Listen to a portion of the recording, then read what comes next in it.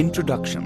The European powers established their imperial domain over countries like India, China, Japan, Myanmar, Malaya, Philippines, and Thailand. Imperialism in India India, a strategically placed subcontinent, was the first to fall prey to the Europeans. The credit for this can be perhaps attributed to the great Portuguese sailor Vasco da Gama.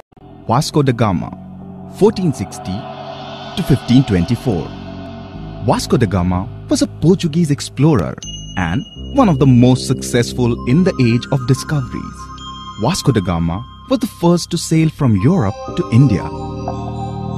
He landed in Calicut, the southwest of India, in May 1498. In India, Vasco da Gama was received by King Zamorin. The Portuguese began trading.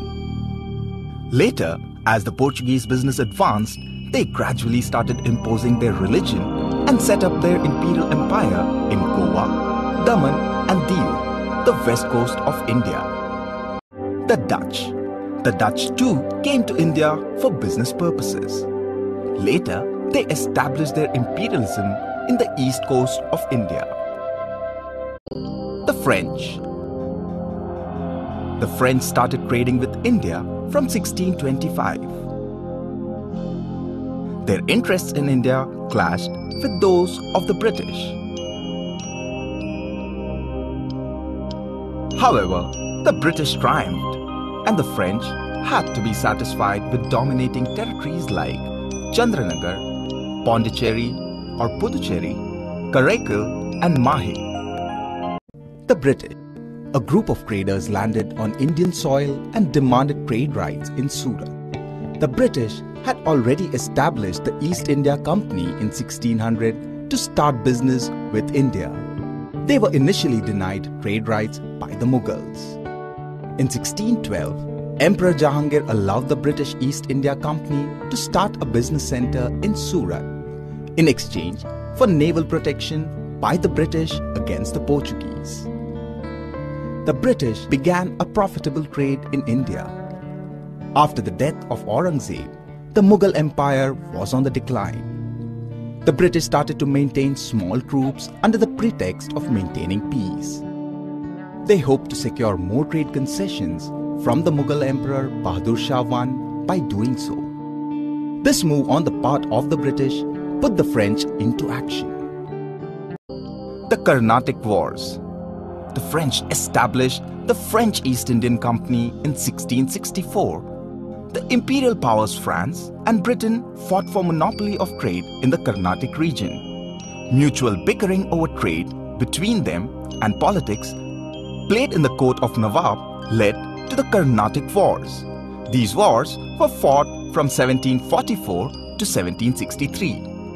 Some of the most important persons in these wars were Robert Clive, an officer, the blue-eyed boy of the British, Joseph Francois Dupleix, the governor of the French Trading Company in India, Anwaruddin, the regent in the Carnatic, Muhammad Ali, Prince of the Carnatic, supported by the British, Chand Sahib, the Nawab's son-in-law, supported by the French, Muzaffar Jung, the Nizam's grandson, supported by the French, Nasir Jung, the Nizam's son, supported by the British. Hyder Ali, the ruler of Mysore, who allied with the French against the British, and Sir Eyre Coote, the British officer who took over after Robert Clive. First Carnatic War 1746 to 1748 The First Carnatic War was an echo of the Austrian War of Succession between Austria and Prussia which had begun in Europe in 1744. There, the French supported Prussia and the British supported Austria. The rivalry over there reflected in the Carnatic Wars fought in India. Let us learn how this war unfolded. In the south, Pondicherry was the French trading station and Madras the British trading station. Governor Dupleix had ambitious plans for the French. Taking the Austrian War of Succession as an excuse, his forces attacked Madras, the British presidency. The British troops were taken by surprise and they escaped, including Robert Clive. Madras was taken and the Fort St. George was besieged. The British retaliated by attacking Pondicherry. But before anything further could happen, the war was called off when both sides heard news of the Peace of Aix-la-Chapelle, signed at Austria. The Austrian War of Succession was peacefully resolved. Madras was returned to the British. The Second Carnatic War, 1748 to 1754. The Second Carnatic War had its roots in the struggle for succession in the court of the Nizam of Hyderabad and also in the court of the Nawab of the Carnatic. After the Nizam's death, his son Nasir Jung and grandson Muzaffar Jung fought for the throne. In the Carnatic, the tussle for the throne began between Anwaruddin and the Nawab's son-in-law Chand Sahib. The Marathas had killed Nawab Dost Ali of Carnatic. Later, his son Safdar Ali was also killed, and Chand Sahib, the Nawab's son-in-law, was taken prisoner. Following this, the Nawab's second minor son, Muhammad Said, was placed on the throne with Anwaruddin as regent. Young Sayyid was also killed. So Anwaruddin became Nawab of Carnatic by default.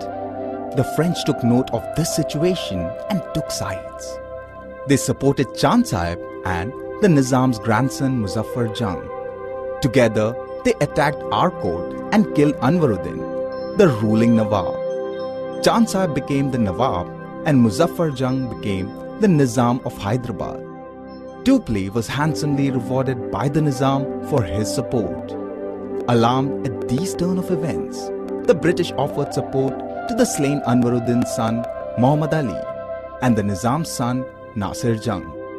With the British support, Nasir Jung attacked and imprisoned Muzaffar Jung.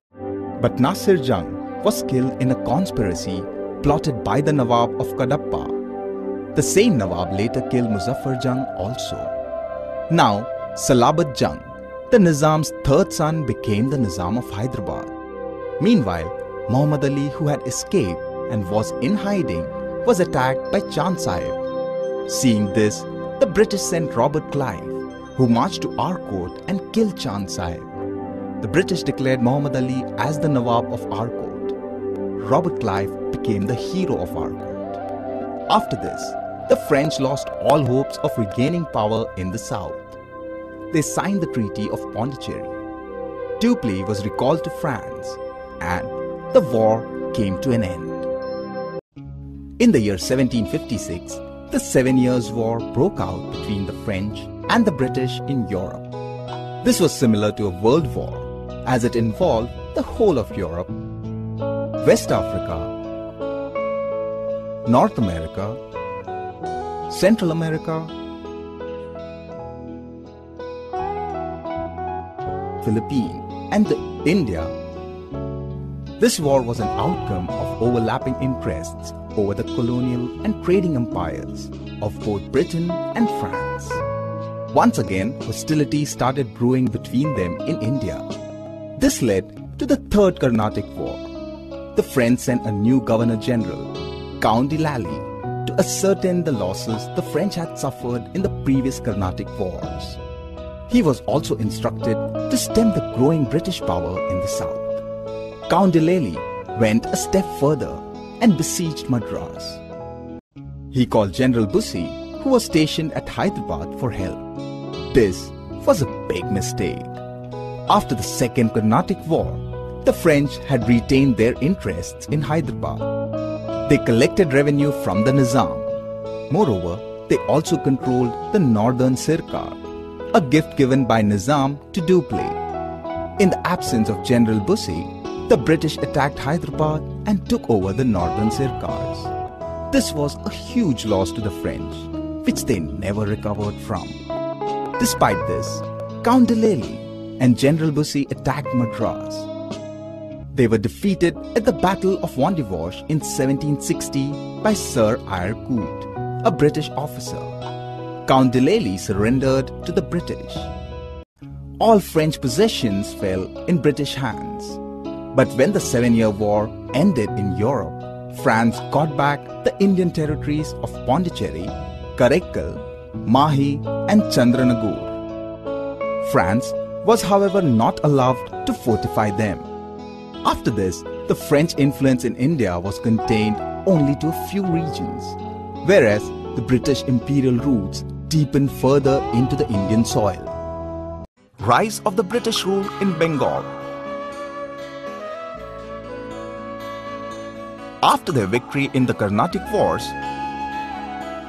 the British turned their attention towards the prosperous Bengal. The British wanted trade concessions from Nawab Sirajuddaulah of Bengal. But the Nawab refused to grant duty-free trade to the British in Bengal.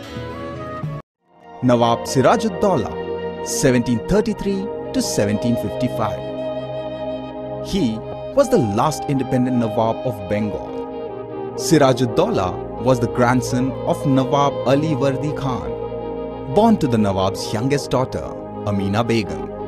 Siraj resented the British presence in Bengal because they had strengthened the fortification of Fort William without his approval, abused trade privileges, and sheltered some of his officers who had misappropriated government funds. Siraj Sirajuddaulah is remembered for his role in the infamous Black Hole incident. When the British continued to fortify Fort William, the Nawab led his forces against them and captured 64 to 67 people. He put them all in a cell in a fort as captives and forgot to release them. The cell, which had a capacity for only six captives, proved disastrous for so many people. Many died due to lack of air and starvation. The incident prompted the British to take action against him, and this led to the Battle of Plassey in 1757. Battle of Plassey, 1757. It was fought between Nawab Sirajuddaulah and the British under the command of Robert Clive.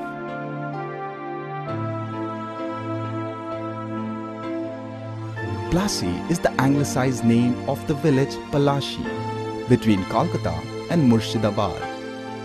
This battle lasted for only a few hours.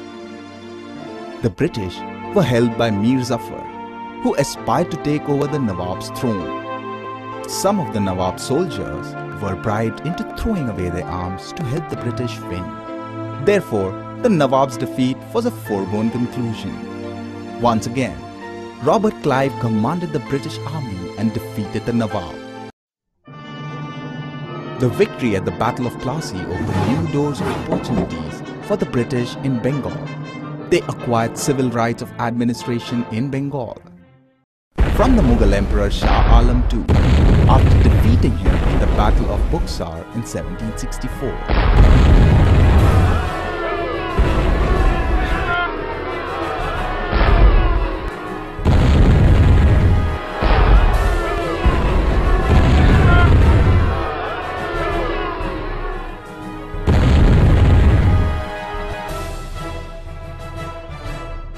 Battle of Buxar, 1764. This battle was fought between the British and the combined forces of Emperor Shah Alam II, Mir Qasim, the Nawab of Bengal, and Shuja Uddaulah, the Nawab of Oudh.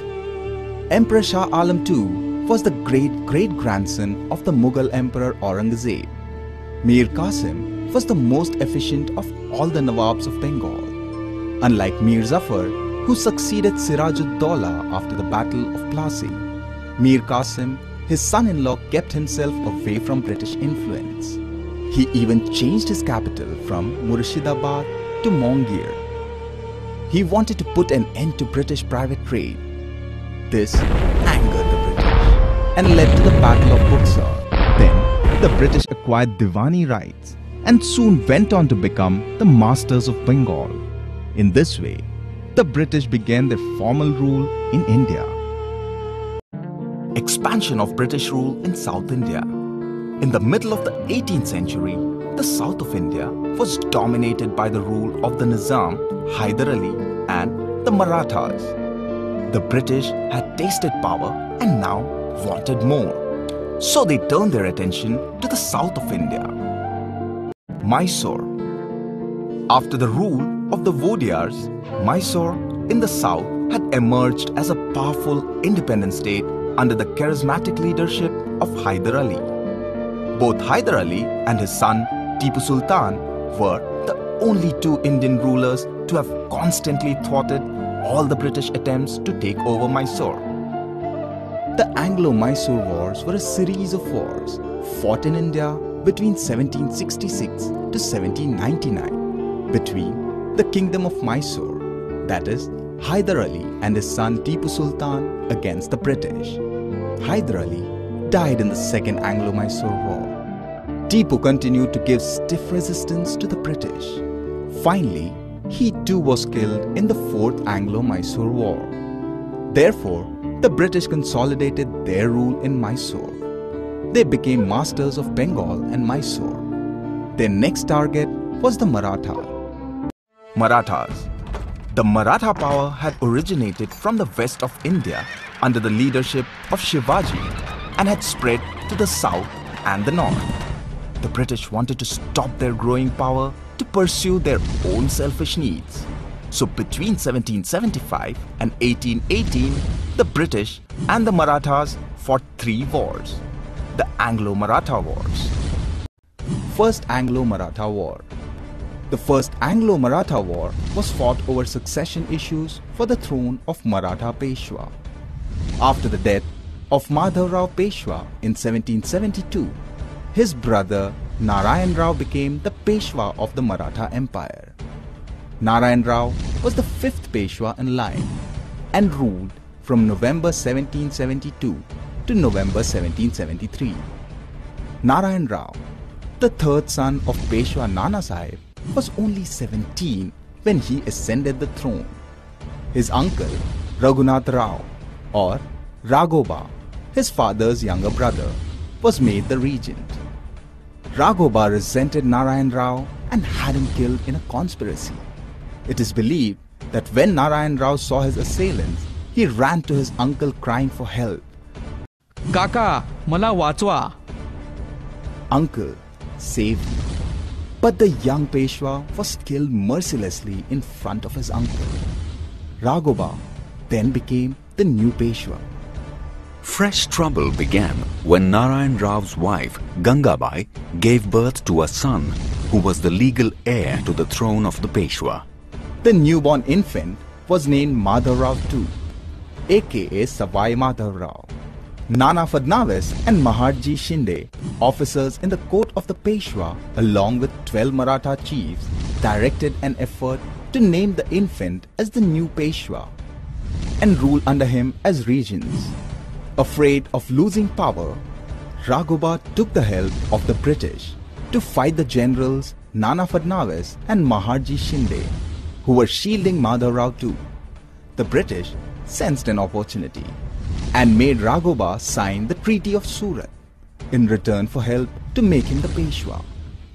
This treaty ceded the regions of Salsette and Bassein to the British and also granted them revenue access from prosperous regions like Surat and Bharuch. What happened next? The British were in no mood for a war.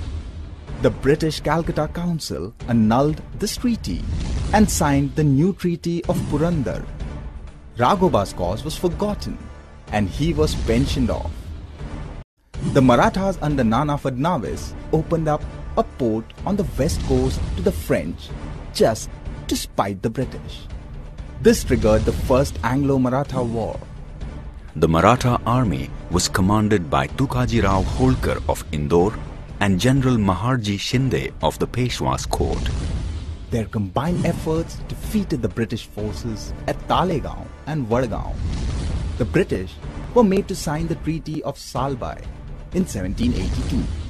This treaty made young Savai Madhav Rao the Peshwa and Raghoba was granted a pension. Second Anglo-Maratha War The young Peshwa Savai Madhavrav's affairs were safeguarded by his Prime Minister, Nana Fadnavis, and his 12 member Regency Council.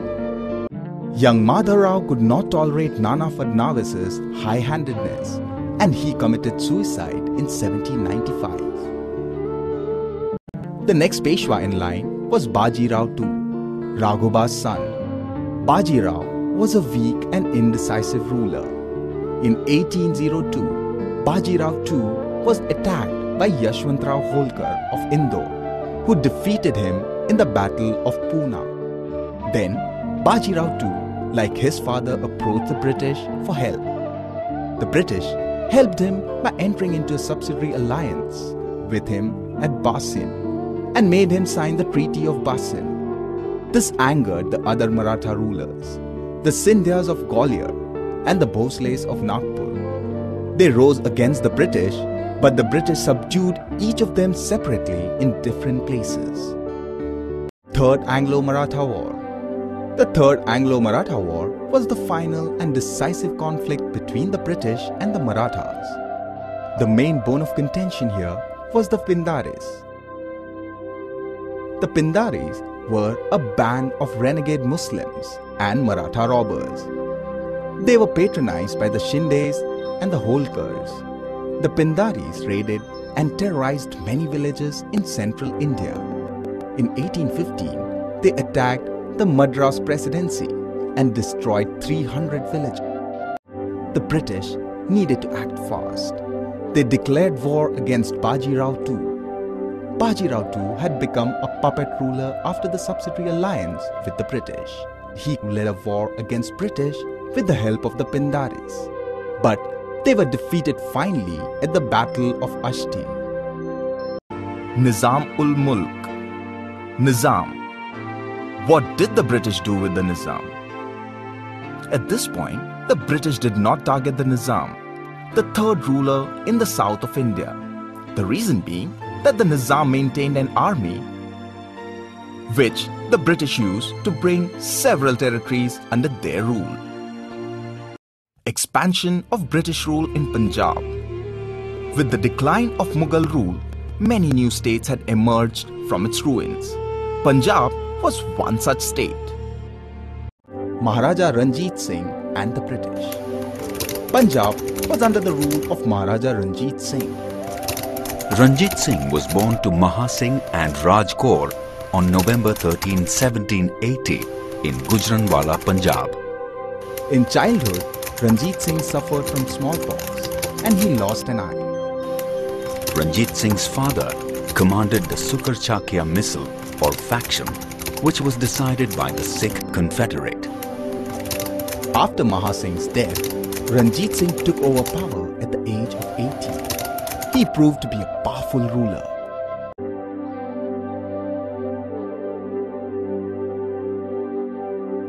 In 1799, he captured Amritsar, Multan, Kashmir, Peshawar, and Lahore. He made Lahore his capital. He conquered the whole of central Punjab, from Sutlej to the Jhelum. By 1818, Ranjit Singh had become one of the most powerful rulers in the northwest. He had unified all the members of the Sikh community. Under his rule, the Sikh empire had spread to the regions of Punjab, Sindh, Kashmir, Multan, and Peshawar. All the other misl were incorporated into the new Sikh empire. The British entered into a treaty with Maharaja Ranjit Singh called the Treaty of Amritsar.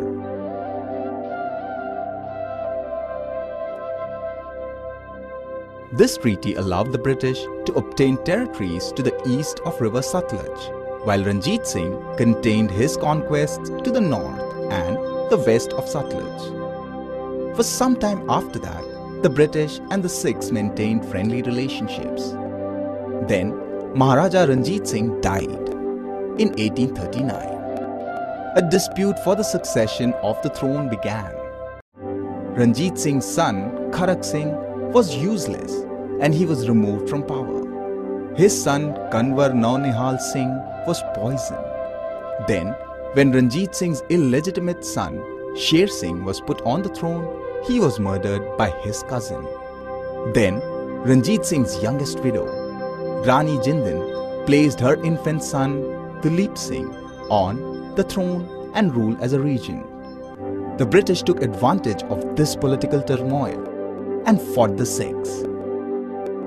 Between 1845 and 1849, the British and the Sikhs engaged in two wars, the Anglo-Sikh War.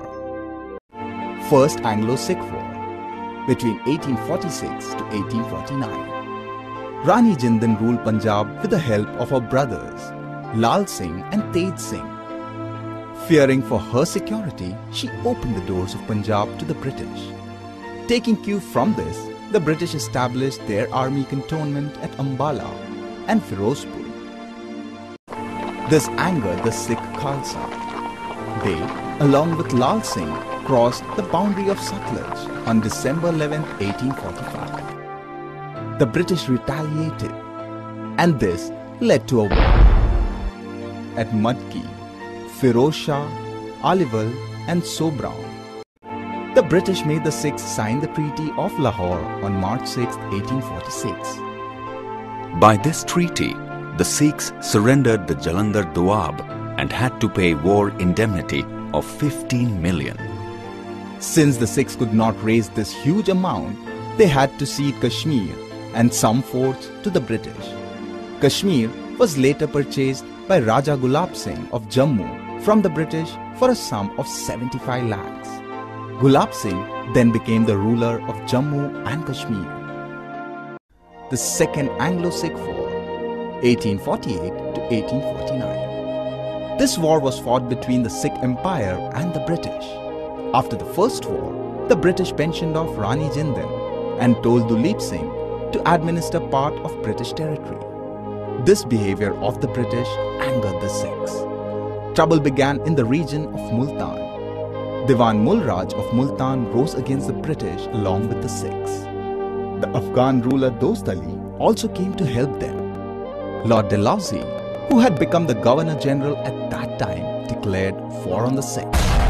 The Sikhs were defeated at Jallianwala in 1849. Duleep Singh was sent to England and the British annexed Punjab. They also took possession of the famous Kohinoor diamond which belonged to Maharaja Ranjit Singh. Sikh regiments came under the command of the British. The British triumphed and brought Punjab under their rule. The absolute rule of the British. By 1818, almost the whole of India was subjugated by the British. Apart from fighting wars and taking over vast empires, the British also acquired territories through various unjust and vile tactics. Robert Clive. After taking over Bengal, Robert Clive introduced dual government. In 1765, Bengal was ruled by the Nawab and the British. The Nawab was kept only to maintain law and order, while the greedy British took charge of revenues and military. The result was the British amassed huge amount of profits and reduced Bengal to a state of misery. Lord Wellesley Lord Wellesley conquered many Indian territories by introducing the subsidiary alliance system. Under this system, the Indian rulers were promised British military assistance provided they followed certain conditions. Here too, the British had an upper hand. Lord Dalhousie Lord Dalhousie's policy of doctrine of lapse helped the British to annex many territories in India. According to this system, any throne that did not have a direct heir was liable to be annexed. Adopted successors were rejected. States like Jhansi, Nagpur, Satara, Sambalpur and Udaipur were annexed under this doctrine. Apart from this, states like Awadh were merged with British under the pretext of maladministration. Yet some other states were deprived of periodic tributes and brought under the British Empire. In this manner, the British succeeded to take over the whole of India under its imperial governance. Imperialism in China. China, the biggest nation in the Asian continent, remained isolated from the rest of the world up to the second half of the 18th century. The reason being that the Chinese believed themselves and their culture to be far superior than the rest of the world. China was coveted by the Europeans because of its rich commodities like tea, silk, and porcelain, yet China chose to close its trading posts to the Europeans. However, the reigning Manchu dynasty between 1644 and 1911 opened the trading gates to the foreigners under strict supervision. Foreigners were allowed only up to the limits of Canton and Macau. The Portuguese were the first among the Europeans to begin trade with China, way back in the 16th century.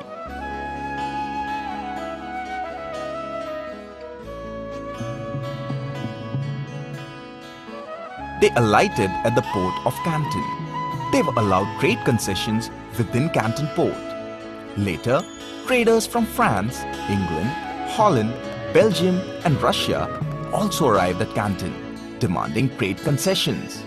They established commercial centers along the coastal region of China. The Europeans found out that the Chinese were far backward in terms of industrial revolution, military and economic conditions. They also hated their customs and thought it to be self-destructive. The Chinese imposed severe restrictions on the Europeans. They made the Europeans kneel before their emperor. Yet, the Europeans traded with China. The traders established an organization called Cohong for the promotion of trade. Greed for China's valuable goods made some Europeans trade secretly. China gained a lot from this trade. The Industrial Revolution in Europe led to further rise in trade with the Chinese. Their markets began to flood with Western goods.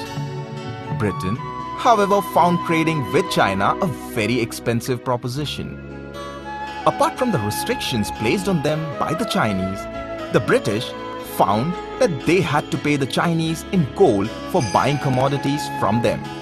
This practice was unusual because when the British bought goods in India, they paid back with goods. The British decided to change its trading strategy. Britain grew opium in India and smuggled it into China. Soon, the Chinese were buying opium and paying back in silver.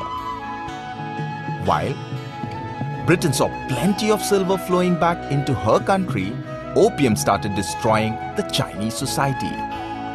Then, by 1800, the Chinese emperor forbid the import of opium. The Europeans were harassed by the high customs duty imposed on their goods.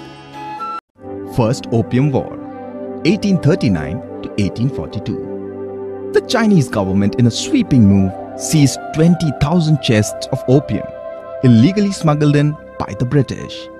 This angered the British, which had a monopoly in the opium trade. In 1839, Britain declared war on China. This was known as the First Opium War.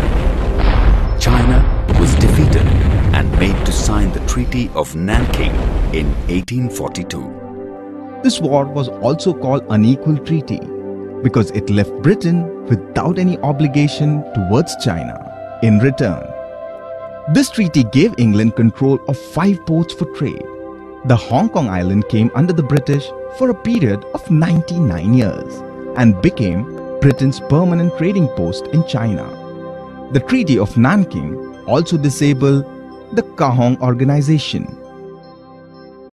Taiping Rebellion 1850 to 1864 Britain's victory prompted other countries like America, France, Belgium, Holland, Portugal and Russia to seek commercial concessions from China.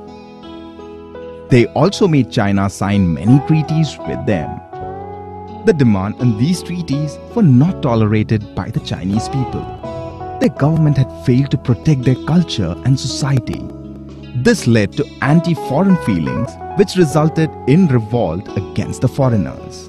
This was the Taiping Rebellion. The rebellion was started by Hong Xiu-quan. The death toll in this rebellion was an estimated 20 to 100 million people. However, the foreigners managed to suppress this too. Second Opium War 1857 to 1860. The foreigners grew greedier by the day. They demanded more ports for trade. Britain wanted a renegotiation of the Nanking Treaty, but the Chinese government rejected all the demands. This prompted England and France to declare war against China once again. This was the Second Opium War. The Manchu Emperor was defeated yet again and made to sign the Peking Treaty in 1860. This treaty opened up many doors of opportunities for the foreigners. It opened up six other ports to the foreigners. The opium trade was made legal. Foreign envoys were allowed to stay in Peking. The missionaries were allowed to freely propagate Christianity in China. China's fragile state had made matters worse. In 1858, Russia attacked China and gained the left bank of the river Amur. Russia got control over the non-freezing area on the Pacific coast where the city of Vladivostok was created in 1860. Between 1894 and 1895, Japan waged a war with China and took over Korea, which belonged to China. The division of the Chinese melon, Boxer Rebellion. The European powers assumed full control over China. Economic exploitation began. In other words, the cutting of the Chinese melon. In order to avoid an African like political division of China, America came out with its open door policy or Me Too policy. This allowed all foreign countries to take full financial advantage of China. Equal right to trade was granted to all countries. America's policy received good support from the other European powers. This forceful invasion by the foreigners angered the Chinese people. The Dowager Queen directed the people's anger towards the foreigners. This resulted in the Boxers' Rebellion in 1899. The rebels attacked all foreign settlements in China. But in the end, the rebellion was crushed and China was partitioned by the foreign powers. China became an international colony. Imperialism in Japan. To the far east of Asia lies Japan, also known as the land of the rising sun. Like China, Japan too started trade with the Portuguese, the Spanish, and the Dutch way back in the 16th century. But when these foreigners encroached on her culture by trying to spread Christianity, Japan expelled them and closed the doors to the world. The shoguns who ruled Japan at that time were plutocratic and fiercely protective of their culture. Japan was cut off from the world for 150 years. It is no wonder that the Western countries named Japan as the Hermit Nation. But things changed in 1853. America in 1850 was already a growing nation. It felt that Japan was a favorable place for business. But for this to happen, it was necessary to first bring Japan out from her self imposed isolation. So in 1853, America sent a naval mission to Japan under the command of Commodore Matthew Perry. Commodore Perry's naval fleet docked at the Gulf of Edo in Japan. Then he requested for business concessions from the Japanese government along with safety for his marines and the American ships. The Kanagawa Treaty The Japanese were initially reluctant to open their doors for trade with the outside world. They held lengthy talks with Commodore Perry, which lasted for about 23 days. But after seeing the powerful American fleet, the Japanese Prime Minister Tokugawa shogun agreed to sign a business agreement with America on March 31, 1854 at Kanagawa. The Kanagawa Treaty was a compromise which served the interests of both the countries. How did this treaty help America? Let us learn. America was allowed to use the ports of Shimoda and Hakodate for wood, coal, and water. American envoys were allowed to stay in Japan. Distressed American sailors were given Japanese assistance. America was allowed to do business with Japan, keeping in mind the local rules and regulations. Japan reluctantly stepped out to meet the world after long years of seclusion. America's bold initiative prompted other nations like France, England, Holland, and Russia to also seek trade concessions in Japan. Japan agreed and granted business concessions to them. This led to the economic exploitation of Japan by the foreigners. But Japan was not going to suffer the same fate as China and India. The Japanese soon realized that the imperialist nations demanded trade concessions from Japan by displaying their might and military power. Japan lacked this because of its long standing isolation. Unlike the Chinese, who made a futile attempt at fighting back the imperialists, Japan realized its weakness and decided to rectify its shortcomings. The Japanese turned their anger inwards, towards their shogun government. In 1867, the Emperor Mutsuhito was restored as the head of the government. With the Meiji Restoration began the birth of modern Japan. Japan harnessed within itself the same power shown by the imperialists. Drastic modernization began. Japan made changes in its economic, political, and social policies. Japanese were sent abroad to learn more. Europeans and Americans were invited to teach in Japan. A new army and navy was established. Japan introduced a new industrial policy. The new government became more liberal and allowed inclusion of Western lifestyles. After modernizing itself, Japan adopted the policy of imperial expansion. Japan needed natural resources. With this in mind, Japan challenged and defeated powerful nations like China and Russia.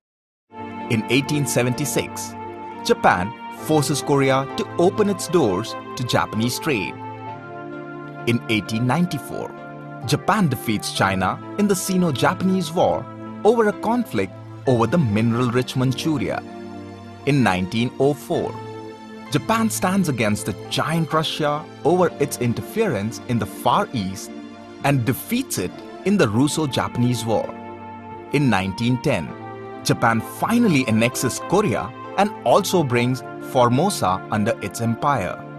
In this way, Japan, which was a victim of imperialism, ended up practicing imperialism, making it one of the most powerful nations in the late 19th century. Sri Lanka, Burma, and Indonesia. Sri Lanka became a crown colony of the British as early as 1798. Britain conquered Burma in 1886 and governed it as a part of the Indian Empire. Indonesia, an archipelago consisting of Sumatra, Java, and Bali, was rich in spices, quinine, rubber, palm oil, and rope fibers. The Dutch came to Indonesia at the end of the 17th century and maintained its hold over this spice land for about three centuries.